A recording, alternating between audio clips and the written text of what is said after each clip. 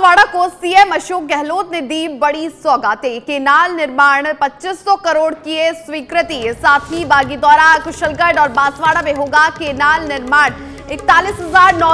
Hectare में होगी सिंचाई की सुविधा। पाटोल पीपल खुंड प्रतापगढ़ में पेयजल और सिंचाई सुविधा के लिए 2000 करोड़। माही परियोजना के नहरी तंत्र का सुदृढ़ीकरण कार्य के लिए पाँच करोड़ रुपए। हरिदेव जोशी नहरी तंत्र का सुदृढ़ीकरण कार्य के लिए 130 करोड़। ये तमाम जो सौगातें हैं, मुख्यमंत्री अशोक गहलोत की तरफ़ से दी गई है। उदयपुर में घाटोल बांसवाड़ा में खमेरा नहर प्रणाली और सूक्ष्म सिंचाई के लिए 212 करोड़ बांसवाड़ा ज़िले में 17 एनिकट निर्माण कार्य के लिए तीन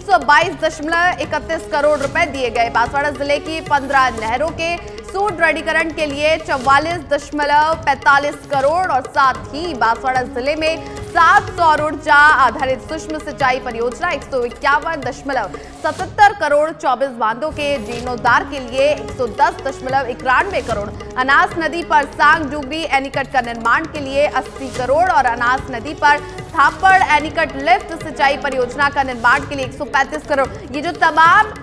मुख्यमंत्री अशोक गहलोत की तरफ़ से सौगातें दी गई है, वो हम आपको बता रहे हैं, क्योंकि जब मुख्यमंत्री अशोक गहलोत वहाँ पर पहुँचे तो सिर्फ़ सौगातों के साथ पहुँचे हैं, जनता के लिए, राहत के लिए पहुँचे हैं और साथ ही टिडिया देव में एमएसटी निर्माण के लिए 20 करोड़, छोटी सरवन में दानपुर लिफ्ट सिंचाई परियोजना के लिए 125 करोड़, कसारवाड़ी क्षेत्र में अनास नदी पर एनिकट निर्माण और सिंचाई सुविधा के लिए कार्य के 50 करोड़, कागदी पिकअप वियर में डाउन स्ट्रीम एस्टेप चैनल की क्षमता वृद्धि और सुदृढ़ीकरण के लिए 50 करोड़।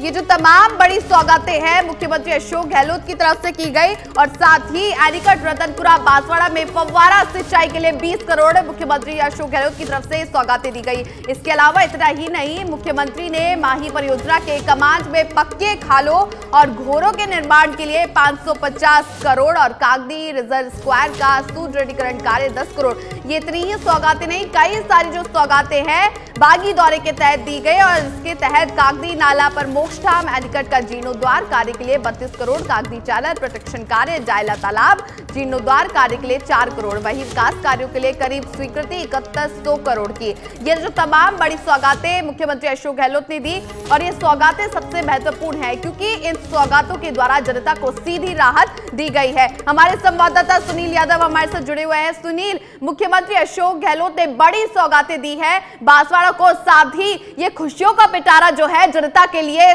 तोहफा जो है एक तरह से सौंपा है मुख्यमंत्री अशोक गहलोत ने। क्या कुछ पूरी जानकारी?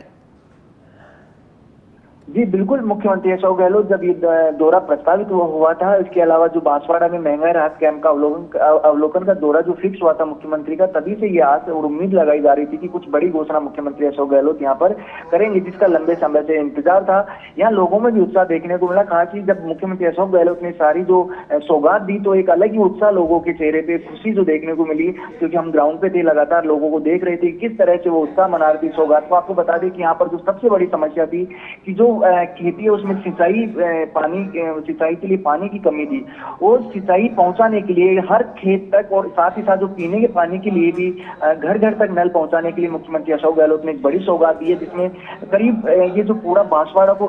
सात हज़ार एक सौ करोड़ रुपए का मतलब इकहत्तर सौ करोड़ रुपए का एक पैकेज भी है, जो पूरा पानी पर आधारित है, जिसमें सिंचाई और जो पेयजल दोनों दोनों तरह की जो पानी की सप्लाई मुख्यमंत्री अशोक गहलोत ने इस सौगात के माध्यम से दी है, जिसमें सबसे बड़ा जो जो प्रोजेक्ट है, वो प्रोजेक्ट जो हाई लेवल कैनाल निर्माण का जो प्रोजेक्ट है, वो है जिसके लिए 25 करोड़ रुपए मुख्यमंत्री अशोक गहलोत ने स्वीकृत किए हैं। और इसके जो ये जो प्रोजेक्ट है, जो कैनाल निर्माण प्रोजेक्ट है, इसके तहत इकतालीस हेक्टेयर जो ज़मीन है बांसवाड़ा की, उसमें सिंचाई पहुंचाई जाएगी, उसमें सिंचाई हो पाएगी, जिससे जो किसान है वो मज़बूत होगा ऐसा मुख्यमंत्री ने भी मन से बोला है कि किसानों को जो अभी जो कमज़ोरी महसूस हो रही है, या फिर जो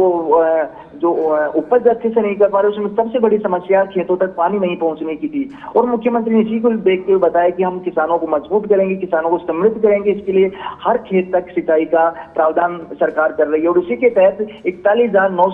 हेक्टेयर भूमि तक सिंचाई पहुँचाने के लिए पच्चीस करोड़ रुपए मुख्यमंत्री अशोक गहलोत ने स्वीकृत किए हैं। इसके अलावा बांसवाड़ा में जो सबसे जो एक धार्मिक यहाँ पर कार्ड भी खेला गया जिसमें सौ करोड़ रुपए जो बेनेश्वर धाम है, जहाँ काफ़ी संख्या में पर्यटक आते हैं, खास खास बांसवाड़ा के जो लोग हैं, उनमें भी खासी मान्यता है। उसको देखते हुए बेणेश्वर धाम का जो निर्माण है, उसके विकास कार्यों के लिए भी मुख्यमंत्री अशोक गहलोत ने सौ करोड़ रुपए का बजट पास किया। इसके अलावा जो तमाम जो वहाँ पर पेयजल, सिंचाई, नहरी सुदृढ़ीकरण या नहर प्रणाली, अनेक जो इस तरह की जो सारा जो सिस्टम, कैनाल, नहर नहरों का जो सुधार और सुदृढ़ीकरण है, उसके लिए इकहत्तर सौ करोड़ रुपए मुख्यमंत्री अशोक गहलोत ने यहाँ बजट पास किया है उसको स्वीकृति दी है। इससे बांसवाड़ा का काया पलट होगा और साथ ही साथ वहाँ पर जो आदिवासी और किसान है वो भी कहीं ना कहीं मज़बूत होंगे और जो इस दौरे के बाद जो आगामी कुछ महीनों में विधानसभा चुनाव है इसको लेकर भी बहुत ज़्यादा अहम है क्योंकि अब लोगों को जब सौगात मिल रही है तो कहीं ना कहीं जो कांग्रेस है बिल्कुल बिल्कुल सुनील क्योंकि जब ये बात बिल्कुल सही है क्योंकि जब मुख्यमंत्री अशोक गहलोत वहाँ पर पहुँचे तो खुशियों का बेचारा और जनता के लिए जो राहत है वो लेकर पहुँचे क्योंकि इसके तहत कई सारी जो योजनाएँ हैं, उनकी बड़ी सौगातें जो है मुख्यमंत्री की तरफ़ से दी गई। बहुत शुक्रिया सुनील, पूरी जानकारी के लिए।